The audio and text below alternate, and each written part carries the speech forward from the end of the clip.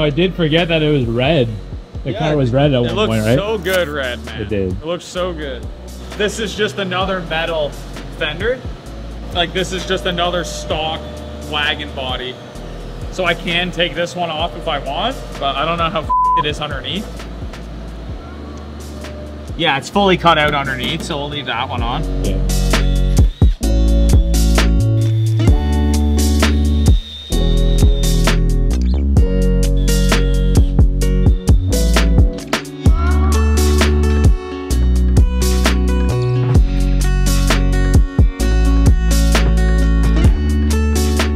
So right now what I'm doing is taking these stock rubber bushings out. We're gonna put solid bushings in and then to fit up the rear grip kit that Josiah made, we have to make modifications to this subframe. That entails cutting out uh, part of this webbing structure of the subframe to move these pickup points up and down. And it has like a like a custom plate to uh, with a bunch of holes that relocate your uh, your control arm pickup points. So gotta cut that out, put that in. I'm gonna powder coat it a super cool color. I don't know yet, but the boys are gonna decide on that. But you know, just good old times with pals, you know. Let me get a hammer. Look at that. Nice Cheap job. hammer. Cheap hammer. So yeah, I'm gonna set these on fire, walk away as Mike says, and then sawzall the sleeve off.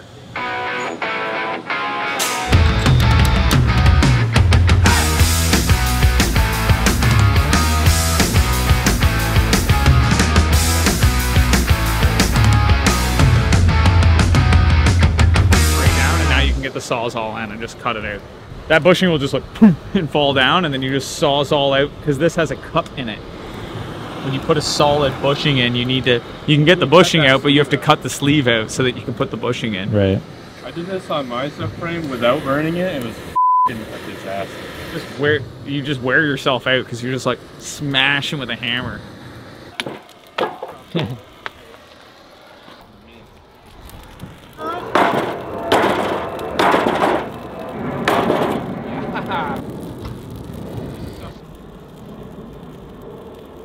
Where's the wieners? Roasting. Where are the wieners, Jack? Think of the lack of effort we've had to do. We literally set them on fire, couple whacks of a hammer, let this sit. We're gonna go for lunch, come back, it'll all be cooled down, and cut them out with the sawzall.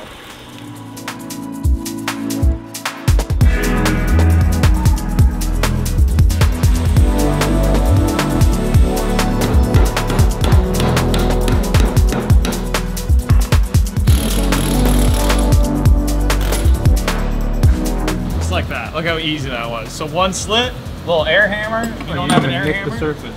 I didn't even nick it. Dude, look at me go. Maybe a little bit, but we just clean that up and then we're gonna press our new ones in. So what'd you say? We're making our own bushings? Yeah, because uh, now that we have this, our boy Dilly can measure this out and it's a super easy to make piece. Obviously, there's tons of pieces that you guys have to make already, but something like that is a straight piece of aluminum. The ones in this are two halves, so the two halves go in together to make one whole one.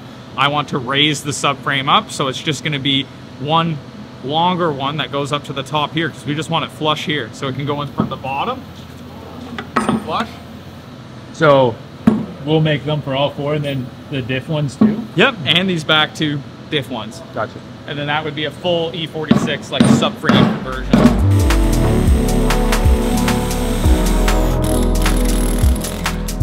Messy job. Messy job. Working on old 2000s cars. I'm assuming it would get sandblasted first because it'd be nicer for Kyle to make his modifications on. no. No? but it can. It can go get sandblasted, so it's just cleaner for Kyle to clean some up. That one's done. The front subframe, there's no modifications that need to be done to it. Just want to coat it. Easier to coat that one than it is the one that's in the car, and we just swap the subframes quick. I know they put really nice valve covers on it, so I'm excited to see that. This is our 427 Texas Speed NA power plant that didn't quite make it in the container. And I think we were this close. We just shipped the car and this just arrived. But the good news is we also forgot a spare power steering pump and the rear toe brackets, probably a couple other things. So we're gonna ship it all in either this box or one very similar to it to Ireland. Pop it open, Josiah. Blast it open.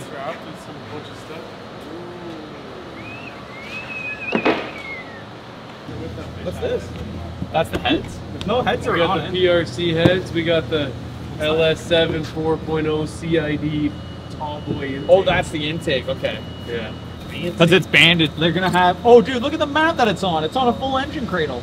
That's bolted to the skin. Definitely leave that in there. Well, we need to put our cart on it, but this gives us an opportunity to powder coat the cart Yeah. make it look nice. What do you think? think they're welded. Dude, look at those ports. I don't want to take oh the plastic off, but But you can still take It's the nice. wheels out, and it'll sit on like the. Look at that, yeah, you could like. Which is better.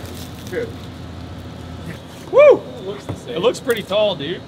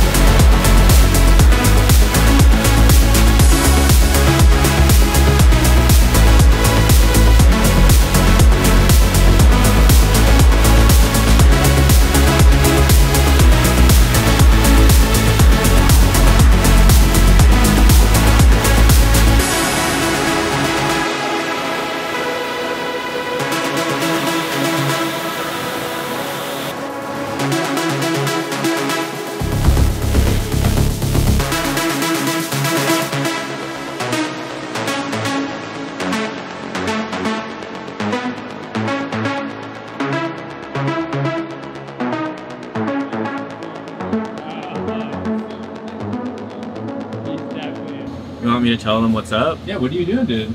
I'm scanning the floor because uh, we want to make seat brackets. Uh, BMW chassis is really popular to put aftermarket seats in, and they're really easy to mount bucket seats. So, what better way to take advantage of our wagon than to make seat brackets for it? So, we got a bunch of uh, really nice D&D seats coming in for this car. There's only one way to mount them, and that's with super sick FDF seat brackets. So that's what we're whipping up right now. I'm gonna scan the floor. Dylan's gonna whip something up. Maybe Josiah will get in there, and we'll make some cool CNC seat brackets. You know. So yeah, just another day in the life.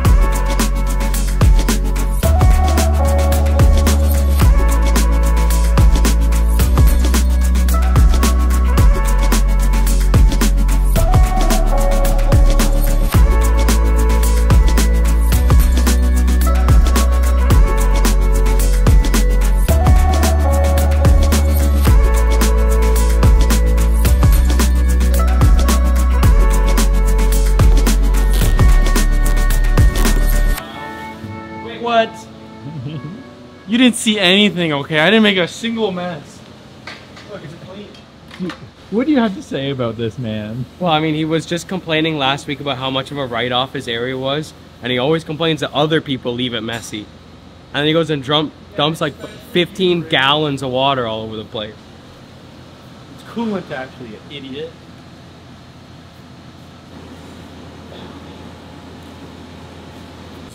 This is the uh, full three-inch stainless exhaust, and it's actually it's excellent. The welds are amazing. We're gonna replace this with three and a half inch titanium, so it's gonna be a lot lighter. It's gonna sound way cooler. So if you want this, hit us up. Don't actually hit us up.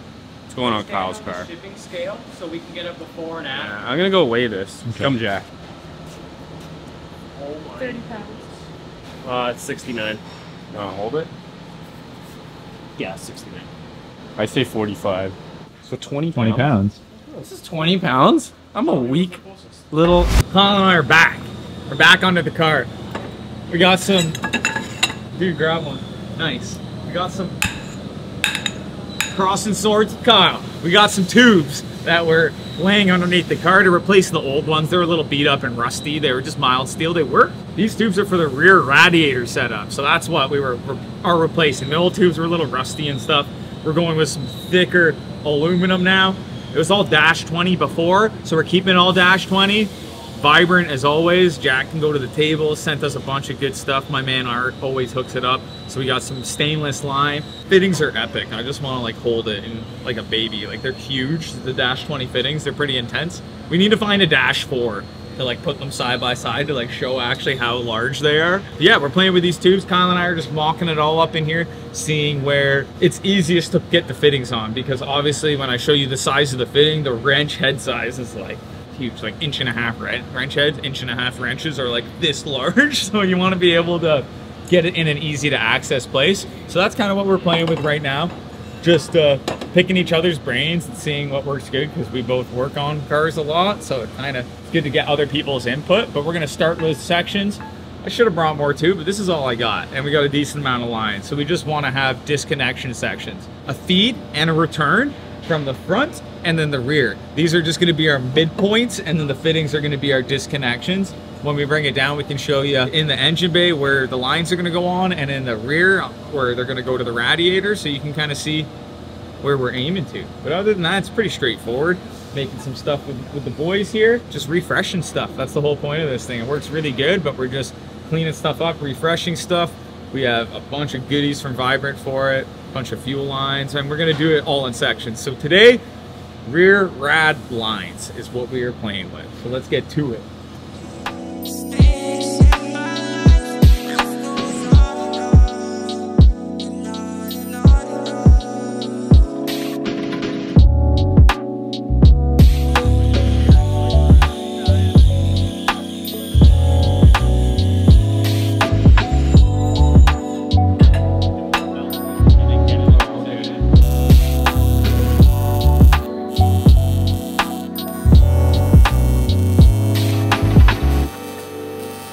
We are making uh, AN lines for the um, cooling system on this BMW. So we have dash 20 um, AN stainless braided line here. We're gonna run this from the engine to the rear of the car. So we have a ton of line here. I'm just putting these fittings on. Really simple, you know, working with AN lines, you just slide them on and screw them up. I'm getting them mocked up so I can put them on the car and then figure out what length I want, cut them to size and put fittings on while Mike is fabbing up the center section. So So give me something like that. And then down there, being in the same kind of spot. I just don't want to go too. Dude, check it out. A little bit better than the old ones. Couple boom tubes. Yeah, hopefully it doesn't leak. Oh yeah. Some little gusset plates on them. We got our nice fat, vibrant fittings. All the goodies, man. All the good vibrant stuff making this easy. Don't even have to think hard. Just five feet, something like that, four and a half, five feet to span the whole middle of the car. And uh, yeah, we got the front lines. We're just measuring up that last one, and then we just got to do the rear lines, and that's a day. It takes like it's not super fast. It does take time still, but it's easy. It's not like hurting my head to like figure it out, right? Uh, it's all pretty straightforward. Little angles, just to like. You'll see when we get it back in there. I'm gonna clean all the debris out of it and uh, hang it back up in there so Kyle can put his sections. And we made mounts to the chassis, so it's pretty solidly mounted in there. So should be good.